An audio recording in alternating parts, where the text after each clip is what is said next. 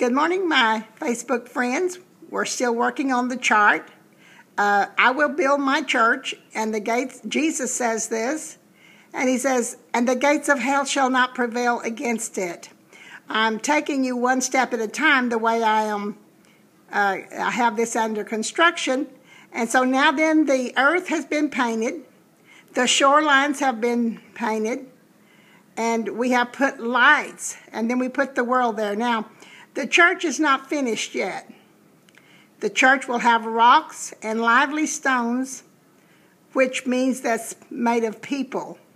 So this is how the chart panel is now looking.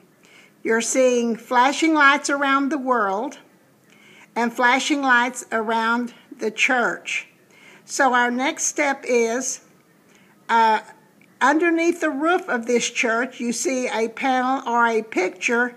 Now, that will come off in teaching, and uh, there will be people under there because the church is made of people.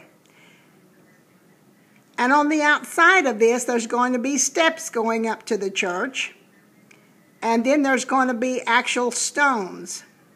Among the stones will be pictures of people because the church is not made of just a building but it's people.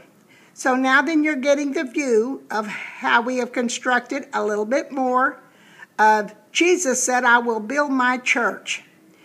The church is going to be built